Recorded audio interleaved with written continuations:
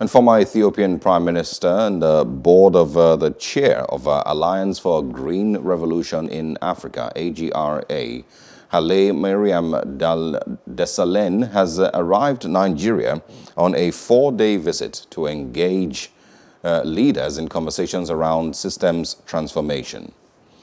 He will meet ex-President Olusegun Obasanjo, the Minister of Finance, uh, Zainab Ahmed, Minister of Agriculture and Rural Development, Mohamed Nanono, and Kaduna State Governor Nasir El-Rufai.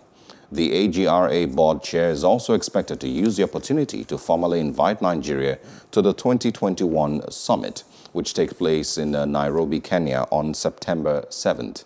Before leaving Nigeria, uh, he would also meet with key officials of the AGRA's partner organizations uh, to further and, of course, uh, uh discuss on how to support the government's strategic goals, including uh, those of hunger and increased incomes in the country's smallholder farming households.